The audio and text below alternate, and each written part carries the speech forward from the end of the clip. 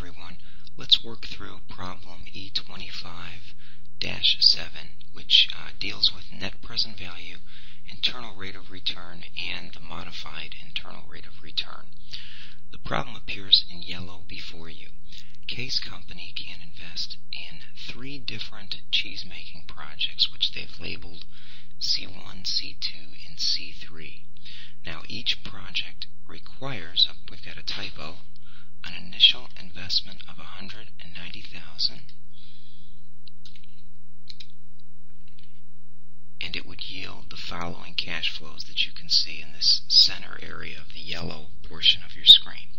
Okay, then we have what's required appearing down below. Assuming that the company requires a 12% return from its investments, use net present value to determine which projects should be acquired. Again, I have another typo. I'll take care of that.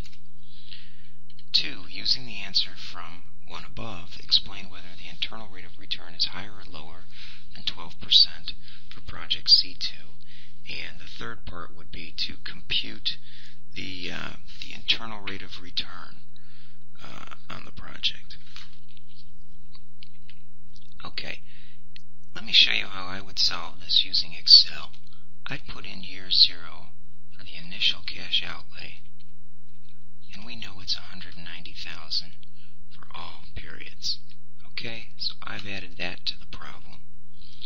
And then I would also type in the appropriate uh,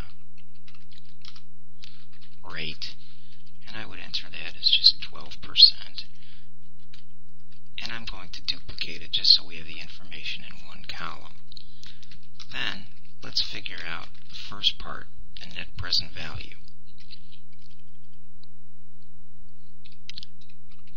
I'm going to use Excel's NPV function. Now, as soon as I hit that, you can see it's going to ask for the parameters. You can also go up to the formula bar and get a nice functions argument, which I think works pretty nice.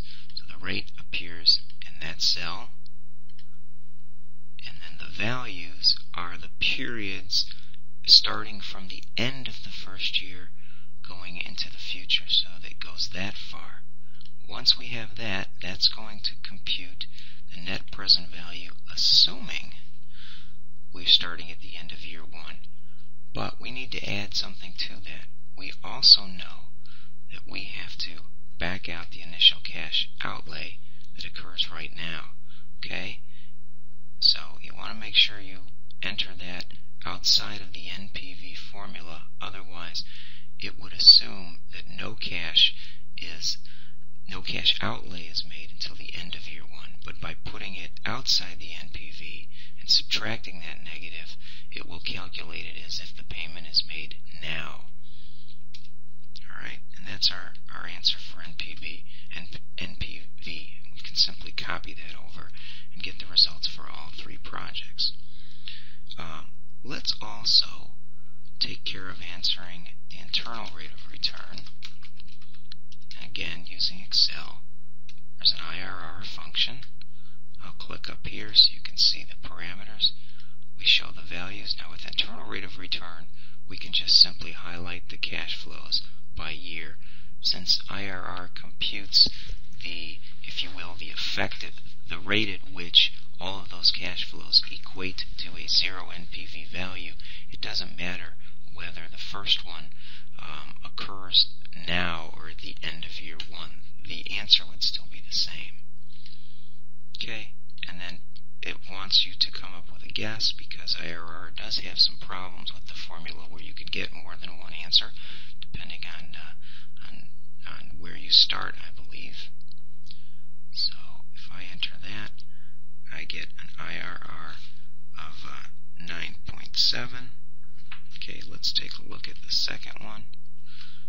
Copying over, we get a, a 12.7, and uh, and in the third one, we get a, an internal rate of return of 16 point now. Now, I know this isn't asked for in the problem, but let's also compute what's called the modified internal rate of return. Internal rate of return is like the internal rate of return, but it changes one of the assumptions.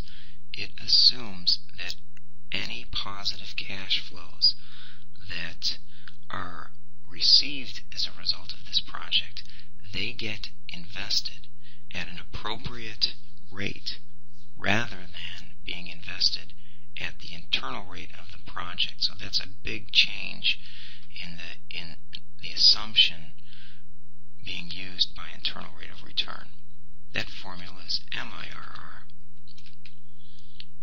And we're going to highlight the same values. Okay, let's hit the function argument, the formula bar to get this up. So there's the values appearing in those cells right there. And now the finance rate is our 12%. We will assume that the reinvestment rate is the same. Okay, so we get a little bit different value for modified internal rate of return.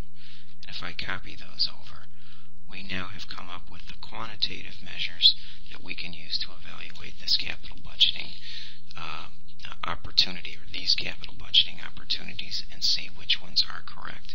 Now to answer the questions, um, we've we've which on one it says should be acquired. Well, using NPV, these two are positive.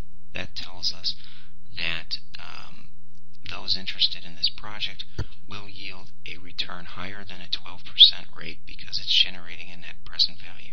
So we should go ahead and accept project C2 and 6.3, but we should not go ahead with project C1 because we will not earn enough of a return.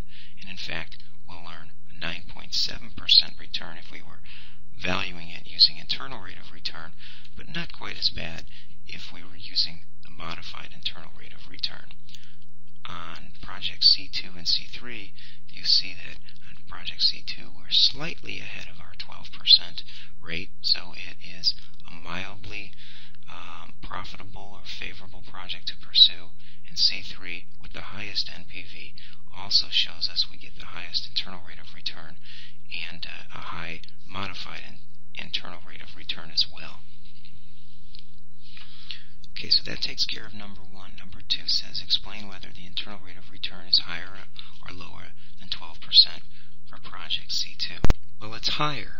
We can see that 12.7% is greater than 12%, but just looking at the net present value, if it's positive, we know we're above 12%. I think that question is uh, is is relatively straightforward. And then the third one was compute the internal rate of return on project C2. Well, we computed them on all of those. So I hope this demonstration has been beneficial.